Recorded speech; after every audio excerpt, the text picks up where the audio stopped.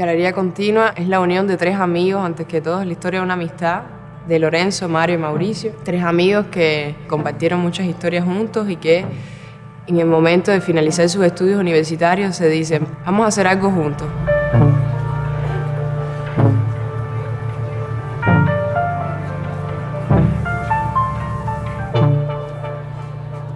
Por cosas que fueron sucediendo, terminaron diciendo, vamos a hacer una galería. La galería empezó en un, pequeño garaje que todavía está ahí en San Gimignano y poco a poco fue evolucionando hasta, hasta la sede que tiene aún hoy en, en un antiguo cine también.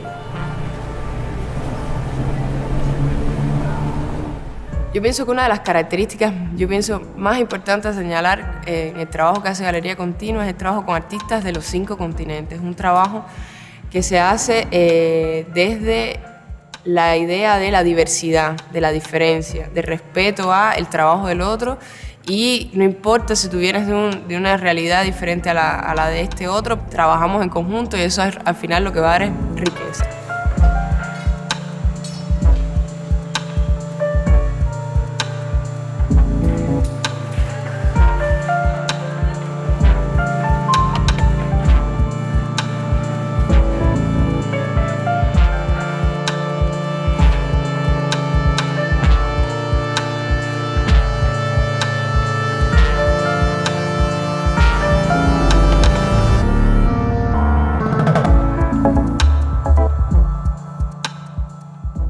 La historia más reciente, digamos, de Galería Continua con Cuba es a partir del 2014, el proyecto de Michelangelo Pistoleto de Tercer Paraíso. Ya en diciembre del 2014, una primera acción con un performance que fue realmente importante en la historia, es decir, en la, historia de Continua con La Habana y con lo que estaba sucediendo a nivel eh, social y a nivel político también, porque fue el performance de Michelangelo Pistoleto con casi una centena de pescadores en colaboración con Cacho, eh, en el cual eh, realizaban el, el, símbolo de Michelangelo Pistoleto del tercer paraíso.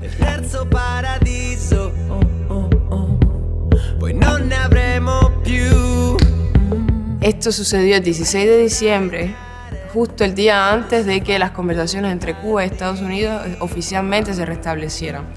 Por lo cual esto marcó también un punto importante de giro, pienso yo, en la historia de Galería Continua con La Habana. Ahora mismo de compromisos sociales importantes en lo que llamamos el primer Forum Reverse geografía de la, transformación. Y ahí la galería también tuvo un papel protagonista porque ha ido acompañando todo este diálogo, todo este diálogo con las instituciones, todo este diálogo con el Ministerio de Cultura, este diálogo con eh, los proyectos también alternativos con los cuales trabajamos.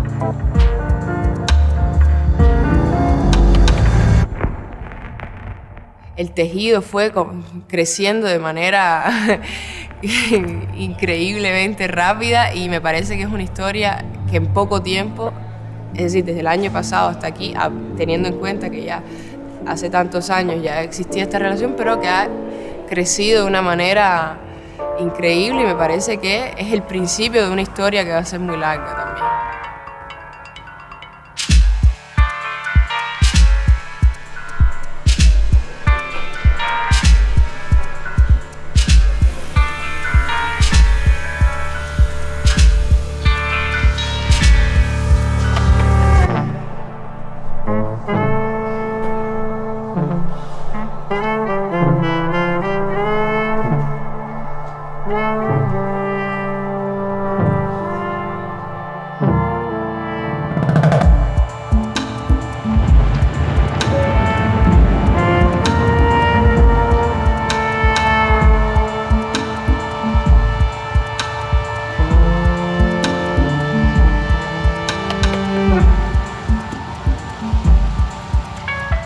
Yo pienso que han logrado con estos 25 años un mercado de primer nivel en lo que pudiéramos llamar el, mundo del arte, pero a pesar de eso, guardando siempre una perspectiva desde sus inicios, es decir, no olvidando quiénes eran, de dónde venían y por qué hacían esto.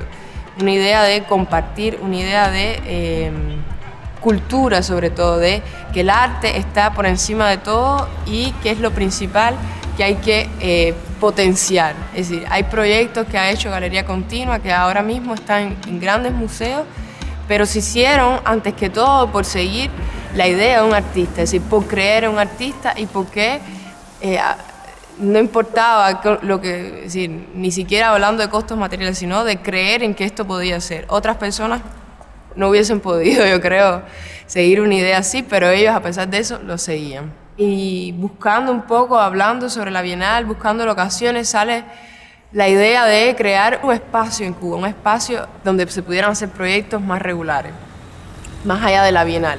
Y, visitando con Jorge Fernández lugares, dice, vamos a ver el Águila de Oro, que es un cine donde se han hecho ya proyectos.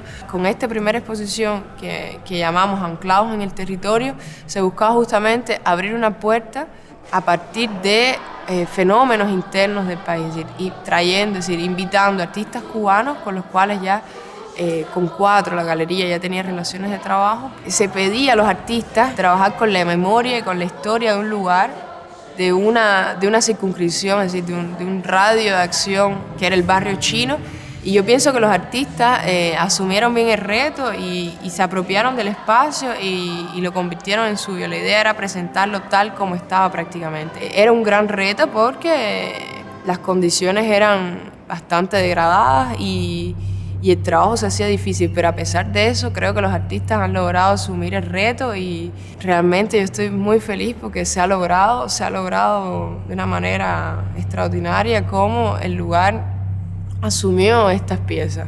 Yo pienso que eso es otro de los rasgos de la galería, es que los lugares se respetan, la memoria del lugar se respeta, convivimos con la memoria del lugar.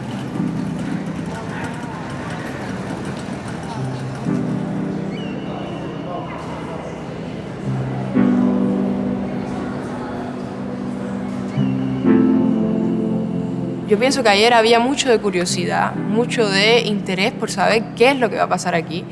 Y, me parece que, es muy positivo, ¿no? Y, espero, yo sentía una buena energía que estaba fluyendo entre todas estas gentes que estaban aquí, que no cabía una persona más.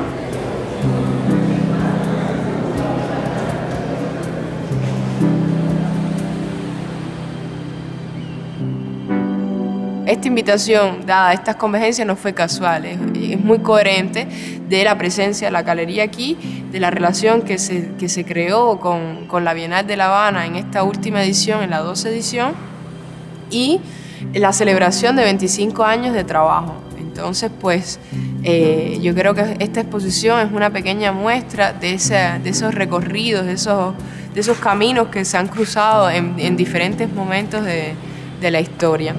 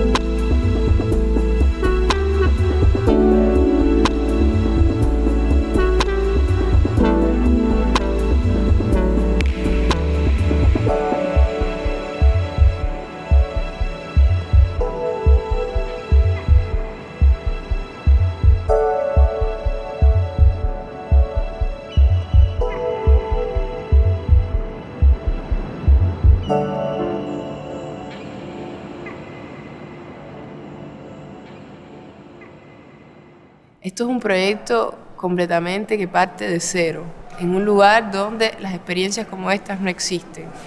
Aquí se está haciendo todo desde los cimientos. Ahora mismo esta exposición que es justamente eso, son las fundaciones de, algo que se va a construir, es la fundación en el sentido de, eh, como, en la, como en la arquitectura, ¿no? que primero tienes que eh, barrenar, profundizar y después empezar a construir hacia arriba. Yo creo que esto ahora mismo es eso, que una galería como esta, que una institución del arte como esta se establezca en Cuba y, y seguramente tendrá un papel protagonista en este año de trabajo.